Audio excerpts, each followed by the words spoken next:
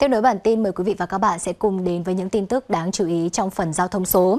Thưa quý vị, với việc một số địa phương, đặc biệt là thành phố lớn như Hà Nội hay Đà Nẵng, yêu cầu người dân trở lại địa phương mình sau kỳ nghỉ lễ 30 tháng 4 mùng 1 tháng 5 phải khai báo y tế. Bộ Giao thông Vận tải yêu cầu các đơn vị liên quan chỉ đạo các doanh nghiệp vận tải đường bộ nhắc nhở hành khách chủ động khai báo y tế để không gây ủn tắc giao thông tại các chốt kiểm dịch khi trở lại sau kỳ nghỉ lễ.